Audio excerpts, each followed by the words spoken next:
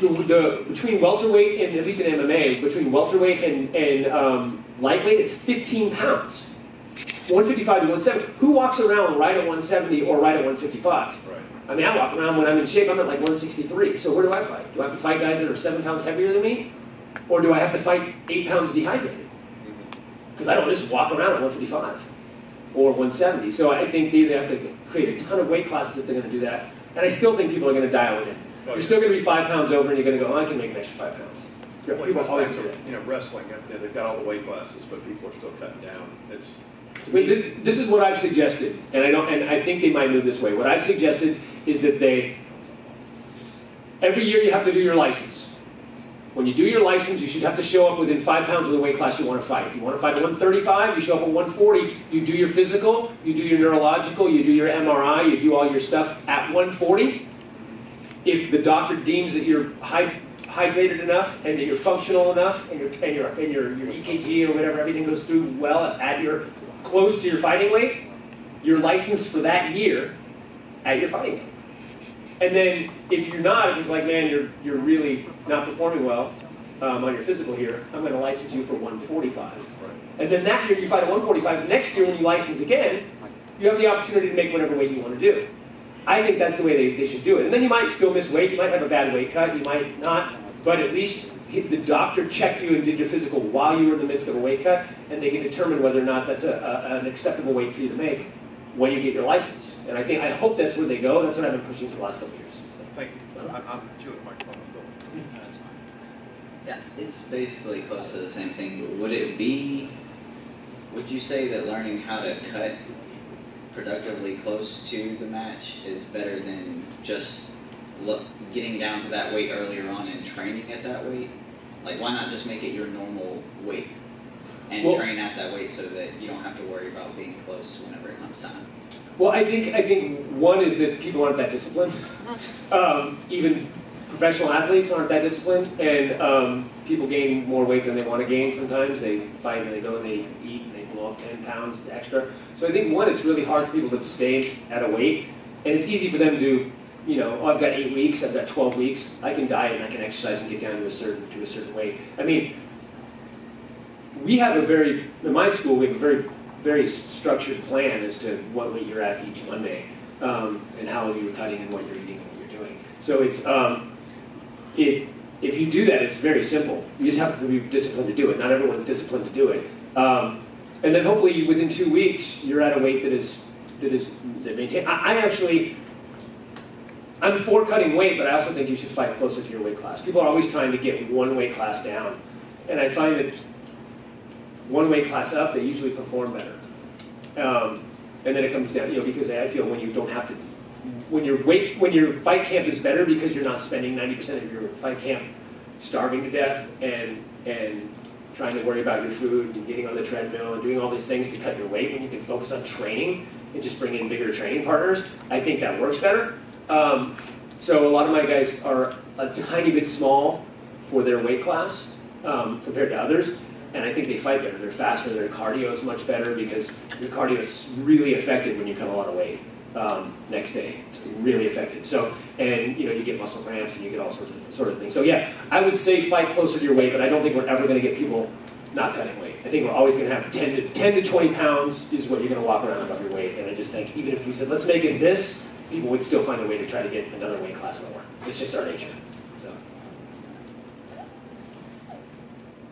Hey there. I wrestled for four years in school and it gave me a lot of core strength and balance. And then I joined the Army and we started throwing in strikes and grappling and all sorts of stuff that you would never do in a high school wrestling match. So Right. um, I felt like the transition was pretty good. But uh, the one thing I really struggled with was that um, just that muscle memory that I earned through school of, of not striking someone ever in any circumstance. I, I had a hard time I had a lot of hesitation in the beginning. Right. And I even remember my drill sergeant said, "It's not a wrestling match." Like, so I just wanted to see if you had any input for someone like who was going to be a young athlete transitioning into maybe jujitsu.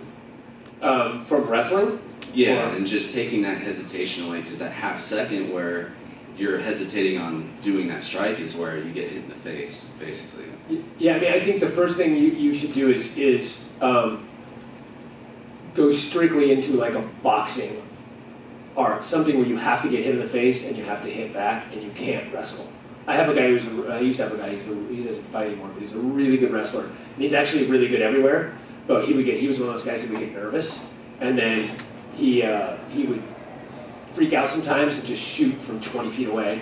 And like one of them ended up being like the, the WEC highlight reel. Oh, And like they opened up with him getting, you know, guillotined off the ground because he shot from 20 feet away, and, and he just got nervous and just didn't punch and just shot, and it was like, oh, thank you, There's, thank you for the net, I'll take it. Um, but sometimes that's just a matter of just training and getting punched and and getting used to it. Once you get that, then you can start making all your shots. Make it necessary that you throw a hand before you shoot. So, like, we don't do anything, we don't shoot, we don't kick, we don't do anything without throwing at least a jab first, ever.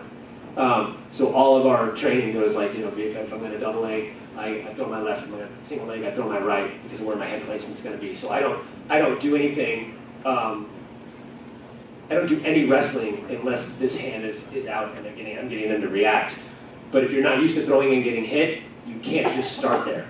You have to just box for a while and get your ass handed to you boxing and get used to it, and then start. I'm gonna throw my jab. I'm gonna double leg. I'm gonna throw my cross. I'm gonna single leg, and, and you'll find that you'll eventually get it. But yeah, it just takes. It's just that like anything. It's repetition, you know. But and getting used to getting punched in the face, which was the biggest thing I had coming from karate um, to Muay Thai. I mean, I boxed when I was a, when I was young, but then I did so much karate that when I went to Muay Thai, I had forgotten how to get punched in the face, and it was like trying to block it and then ah, running away while someone's just smashing you in the face. It's scary. You have to get used to that. You, there's no other way than just to get in there and do it. You know? Yeah, that's a quick way to learn. Yeah. Exactly. Thank you so much. For sure. Uh, Hello, my name is Alfred. Yeah. I'm um, a four-year Navy veteran and practitioner, five-year practitioner of Muay Thai. Nice.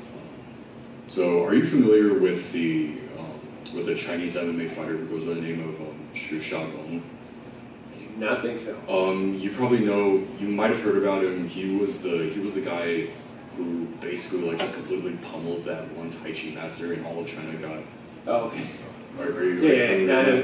No, with I that? don't, I don't know. And he, um, and also, um, uh, he, I don't know if you know this, but he also uh, came back round two, but this time he took on, um, I forgot what his name was. He's like, he was actually like the fourth generation grandson of, uh, of himself. Okay. Um, took him on, and of course he, yeah, completely just just pummeled him into into tiny pieces.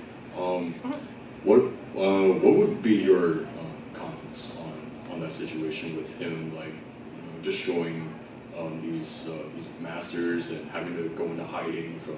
Uh, yeah, what's what, what, what are your comments on? Well, I mean, the thing is that on some level, that's been going around since you know you bring up uh, Ip Man since those days. They used to do that all the time. They used to dojo storm, and they would challenge with the, the Choy Li Fut guys. They would they would have rooftop fights, and that's how Bruce Lee and, and William Cheung got famous is from from fighting the other styles, the Hung Gar style and the Foot styles of, of, of in Hong Kong. So I don't have a problem with that, honestly. I think I mean if that's what you want to do. I mean I, I wouldn't personally go storming someone's you know, it's, it's, it's like anything. It's like, again, I mean, I get up on stage, because I'm a comedian, I get up on stage and talk about people's beliefs that I think are silly, but I'm not going to go knock on door to door and tell you why, why atheism is correct. um, and I don't feel like I'm going to go knock on your, on your school door and say, hey, I'm better than you, because I, I think that's really ridiculous. But if somebody wants to do that because they feel that they're, maybe the other, you know, the other school is perpetuating some lie or, or again putting people in harm in you know harm's way by teaching people something that's not going to work. And you you know I, I can see somebody saying oh well I'm doing a service by teaching their, their students that this guy's a fraud.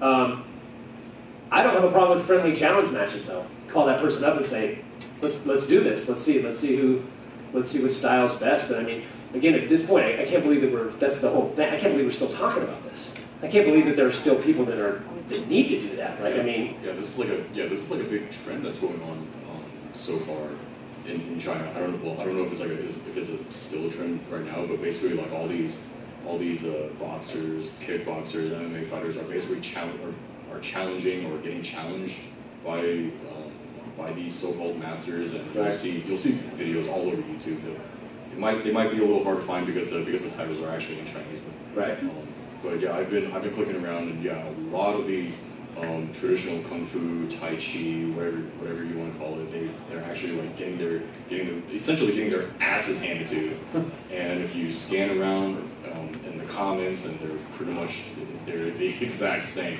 Oh, he's not a real master. Right. He wasn't going. Yeah, it's the no true Scotsman of martial arts for sure. Essentially. Yeah. So with that said, um, do you think that maybe um, that traditional martial arts might have like just even a sliver of a chance to be able to bounce back up to becoming effective? No, I, I, I love traditional martial arts. Like I said, I love doing it for the art form, and I don't think like I still I'm enamored by. If you ever watch Jet Li, there's uh, if you can find videos of Jet Li. Uh, Jet Li won like the, the Wushu World Championships, the adult World Championships when he was like 13 years old. Dude's amazing. You watch Jet Li, and I'm enamored by that guy. That guy can do the craziest Wushu stuff that I, I wish I could do. But um, yeah, I just it's just not fighting. It's it's martial arts. It's a dance. It's uh, it's got some fighting aspects to it. I love. I've trained with um, with Lyoto. Um, his karate's ridiculous, but he doesn't do karate. He does mixed martial arts. But I think there's always a room. If I, I mean, everyone now does it. You set something. You're, you do. You you're in a, a, a fight, and you can set up your spinning heel kick, or set up your flying knee, or your or, or spinning back fist, or whatever it is you learned in your traditional martial art. It is, it is a traditional martial art technique.